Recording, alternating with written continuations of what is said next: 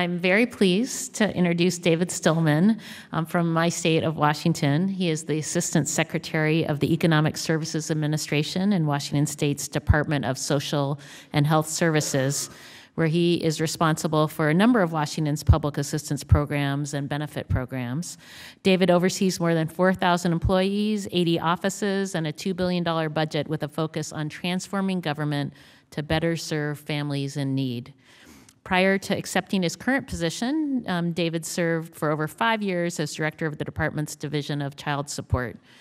Among his achievements is um, a 2001, he is a 2001 recipient of the Governor's Distinguished Manager Award, the highest recognition for a state's government manager. And David received his BA from Whitman College and his JD from the University of Puget Sound School of Law. He truly does excellent work on behalf of so many, so many, and I'm just thrilled that you're here with us today. Thanks for joining us. And I yield back. Thank you. We also have Mr. John Anderson.